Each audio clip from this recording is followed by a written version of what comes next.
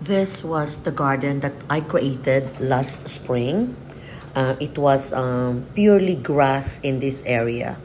So what I did was I dug the hole and um, I planted the plants. I relocated these plants from the front yard, the backyard, and the azaleas, and I planted them here.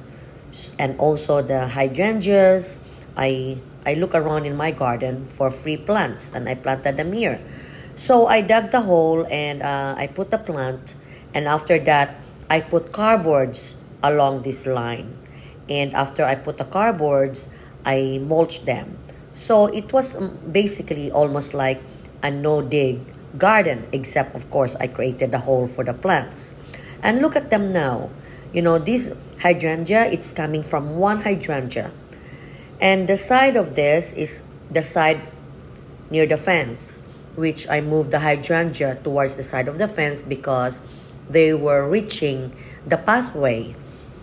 And the hydrangea can grow up to 6 feet tall and 6 feet wide. So this hydrangea looks a baby to me right now because they were replanted so it prevented them from growing big because of that. It delayed the growing of this hydrangea.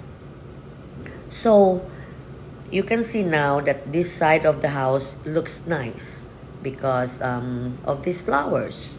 And uh, thank you for watching and please follow me or subscribe to my YouTube channel. Please continue watching till the end of this video.